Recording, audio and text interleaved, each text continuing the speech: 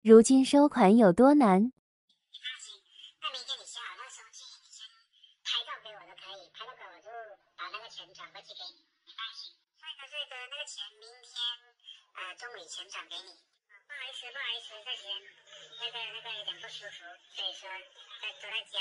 那个下午下午我就给你搬过去上。今天是那台风影响，这个你你放心，明天一定会给你的。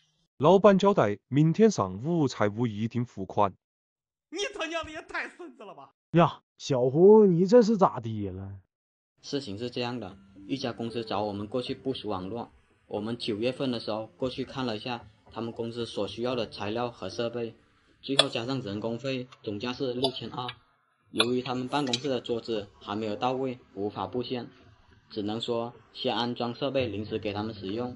当时我和他说了。那先预付两千块钱成一间，我们把设备装上去，给他们办公室临时通网。他们答应了，我于是就带设备过去安装。安装完后，他就让我回去写一份收据，就把钱打给我。我第二天写完收据发给了他。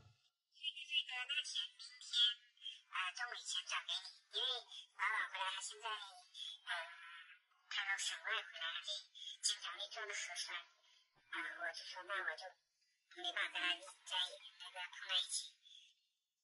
结果他以老板做核酸检测为由，明天中午之前再把钱转给我。但是过了第二天，没有给我任何转账，也没有给我发任何消息。第三天，我问他老板回来了吗？他也没有搭理我。第四天，我发他们楼下的设备清单给他，因为他们楼下的网络也需要整改，但是还是没有回我任何消息。到了第五天，我直接和他说：“你起码回句话吧，设备都拆封安装了，我也无法和公司交代。”他不得不又开始回话了。不好意思，不好意思，这些那个那个有点不舒服，所以说在都在家。那个下午下午我就给你搬过去上。Many months later，结果又没有任何消息了。我今天又发了一个消息过去，他很明确的告诉我，明天早上上午会把钱给转过来。然而到了现在还是没有转。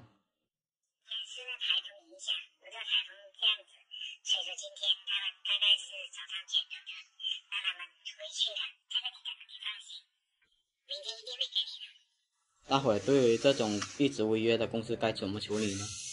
其实我目前有两种办法。第一种也是最直接的办法，就是去他们公司找他们付款。如果还是没有把款给付了，那么只好把设备拆回来。但是这样对于他们，对于我们都是损失。他无法正常办公，而我呢，设备已经开封了，无法二次销售了。第二种办法就是通过远程控制手段来中断他们的网络，让他们把款转了，才能正常使用。但是这种做法又明显不太适合，目前使我陷入了两难的地步。最后和这家公司说一句：信用的破产将是你们最大的破产。大伙还有更好的建议方法吗？这期是来解决粉丝家的网络问题。我们先听他描述一下他家的网络情况吧。嗯。你这边具体什么情况？这个我也不知道里面都有什么东西，这都是电信那些人来弄的，我也不太懂。但是我就是感觉客厅的 WiFi 还行，就是我这个房间里面，因为我用的是桥接嘛，我里面还有个路由器。嗯。桥接的话，如果看那种直播啊，如果是正常的分那个清晰度还可以，如果看那种四 K 的就不行。嗯。我大概了解了情况后，他做电箱的这些设备，我就暂时先不用管他。既然他说房间的网络不行，那么自然要去他房间看看什么情况了。看里面是吗？对。要不要测个测个速是不是？肯定要测啊。你这边，我看一下。这里有一个。这里有一个。这里有一个，我用来调接，但是收。既然他说这个房间 WiFi 比较卡，那么我就连接上这 WiFi 测速试试。连接上 WiFi 后，我第一轮测速只有二三十兆的网速。你这个测下速怎么这么夸张哦？是的，我就很奇怪，我也很奇怪。这速度是我想不到的。这还是贴着路由器来测速的，第二轮测速的时候也好不到哪里去，也就接近三十兆的网速。两次测速都是二三十兆。嗯。还是不快。我得测一下这个。可以可以。这里这个，我我拿我电脑。好的好的。既然路由器这么慢，那么我就拿电脑接上去测一下，它网线过来的网速到底有多少。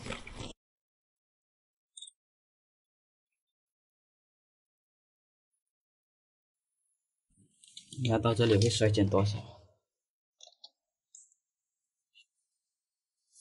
我电脑接上去测之后，居然能跑到六百兆，然后我就问了一下粉丝，啊他办理了多少兆宽带？你办理多少兆宽带？啊，一千兆。粉丝说他办理了一千兆宽带，但是我测速的时候只有六百兆，WiFi 测试的时候只有二三十兆，这肯定哪里不对了。啊，接回去。原来是三办的是三百兆，后面才升级了一千兆，现在给了我五百兆。正当我把网线接回去的时候，我就发现了端倪。啊，你这个是直接直接插电脑的？对，直接插电脑的。我以为你这个直接插路由器咯。插路由器那电脑是没网啊。哦，我现在才反应过来，你这个没插网线。没插网线吗？原来这个路由器没有插网线，它是做了无线中继，难怪怎么测都是二三十兆。无线中继是不得已的情况下才使用的。好消息是，粉丝他和我说，他桌子下面还有个网口，但是他说这个网口是用不了的。我之前也插过，但是好像是用不了。插上去就知道了。你插过？我插过，我用电，我用这个插过电脑，但好像是用不了。你试下。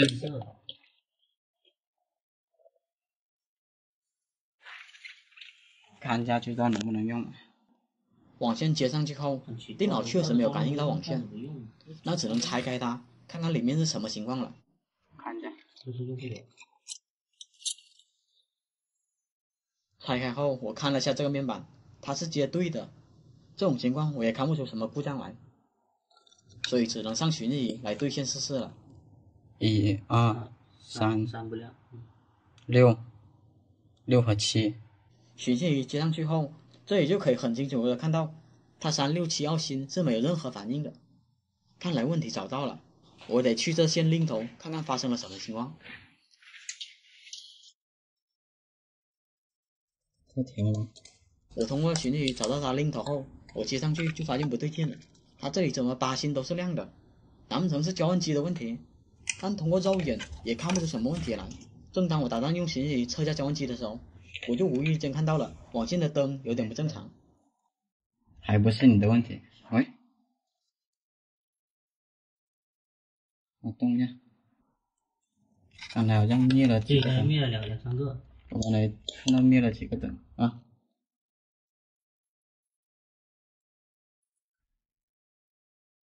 二号灯有的问题。重新打水龙头试下来，三号灯，看到没有？对对对。又又灭了。网络是一二三六为基础通往，四五七八加上去就全照。但是你三三一旦有问题，后二有问题，直接就断网了。我先测一下那个交换机，然后再测一下这网线。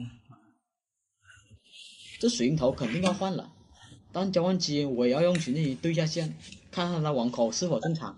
我当时给交换机每个口都对了下线。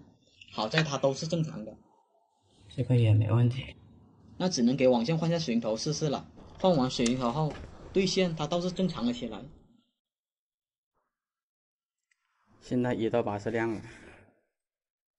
那我就用电脑接上去，看下能不能正常上网。我看到了电脑的接口速率，它是千兆的。那么我就给它测下速，看看能跑到多少兆。这里还是只能测出六百兆左右。这种情况我只能去检查它光猫了。当时我用电脑接上光猫后，用电脑拨号测了一下数，发现一样只有六百兆左右。当时粉丝打算喊电信的过来检查一下，但是我是怀疑我的电脑和它的路由器是不支持千兆的宽带，因为自从那时候，我发现我用我电脑拨号，宽带测速怎么都是不达标的，只有通过路由器拨号测速才能达标，所以我就不怎么相信我电脑拨号后的宽带了。正好我那时候带了两款路由器，我是要把它们送去公司测试的。眼下这种情况，不正是测试它好机会吗？索性我就让粉丝拆了它，然后用它拨号，看看宽带能不能跑到一千兆。嗯，你帮我测试下。路由器设置完毕后，我再测了一下速度，宽带果然提升了不少，但是换算下来只有九百兆这样，还是没有达到千兆的宽带。可能真的是它这个宽带不达标。也可能是测试软件有些误差，但是能确定一件事就是，这个路由器和我电脑拨号都无法跑到千兆的宽带，具体它的原理我也搞不清楚，有知道的大神可以分享一下它的原理。接下来我就要优化他房间的网络了。我把网线接上了路由器，我进入路由器后台，打算修改路由器的工作模式。无奈粉丝早就把管理员密码给忘了，所以这个时候只能给路由器还原出厂了。你这还原出厂键这样呢？对，只要摁摁摁紧就可以回。其实配置这路由器还是挺简单的。进入路由器后，我们点击这里的两步设置，立即上网，它就会跳转到这个界面。它这里就会提示我要我插上网线，然后我就把网线插到路由器的万口上。插上网线后，它会自动检测网线。检测结束后，它就会提示万口已经接入了网线。接着我们点击插入继续，然后再点击立即上网，它就会让你设置 WiFi 名称和密码。